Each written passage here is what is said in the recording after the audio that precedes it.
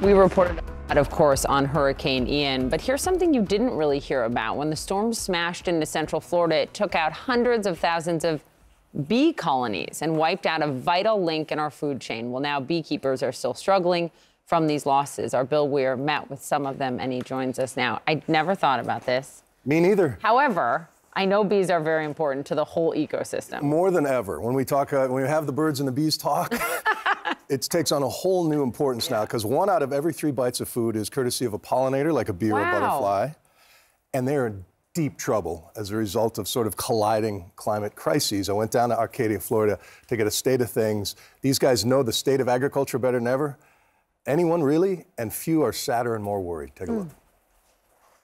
Now you got to get a handful of bees. Really? Yeah. Okay. I'm not usually in the habit of accepting a handful of stinging insects. But Keith Council has a 40 year professional relationship with honeybees. And you never, rarely wear a veil or gloves or anything. Don't really need to. And these days, they need all the love they can get. Hurricane Ian arrived at the worst possible time for this business, just as beekeepers from around the country were set up to catch the autumn bloom of the Brazilian pepper tree. Whole yard went under.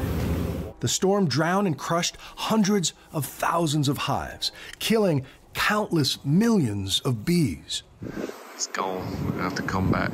There ain't nothing left. You could actually see a water line where it came up to here. And because Ian blew away so much vegetation, those that survived are starving. Some of these bees have gotten three shots of feed, and that's a gallon. So you're talking about 36 pounds of feed already and you can still go back after they suck the feed down and it looks like they never were fed at all. They're just starving. They're just starving. Yeah, it's nonstop. So it's just an added cost and you're just trying to do the best. You have to make that tough decision of really, is it worth the money, uh, the financial cost to try to save it? Or do you just have to walk away and, and take your medicine?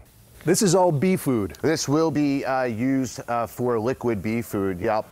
At Mann Lake Bee and Ag Supply, they're mixing sugar water as fast as they can. And while some bee farmers file for federal relief, the Greater Good Charity is giving away a quarter ton of pollen substitute.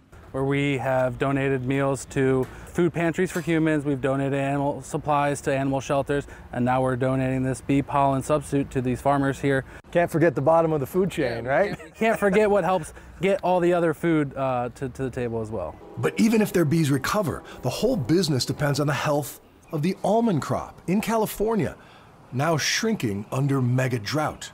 If the drought takes out the almond crop in California, that the whole beekeeping industry is going to be in trouble.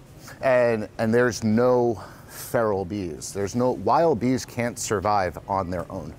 He explains that pesticides, development, and invasive pests have made it impossible for bees to survive without deliberate human care.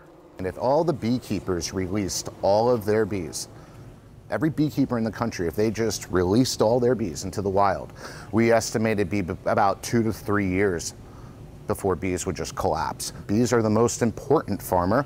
They're the most forgotten as well. And that's why we just need the entire public to really continue to get involved in bees.